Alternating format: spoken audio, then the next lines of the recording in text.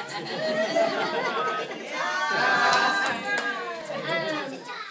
Peden. Oh, there's so much I could say about Peden as well. Um, I think Peden's award, before I before I tell it, is just so telling of him and to me, being in the classroom, perfect for him. A lot of you say, um, "Are you are you sure they listen in class because they don't listen at home?" So for me, all the kids have just done an outstanding job. Peden is getting my little Nobel Peace Prize award. Um, I'm gonna tell you, Peden is my little peacemaker. He just he knows how to encourage everyone. He knows the right thing to say.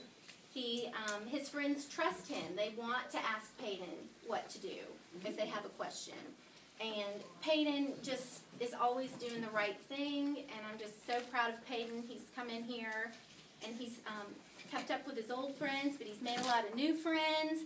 Everybody loves Peden, and he's just, he's a great kid, and I'm just so very proud of you, Peden.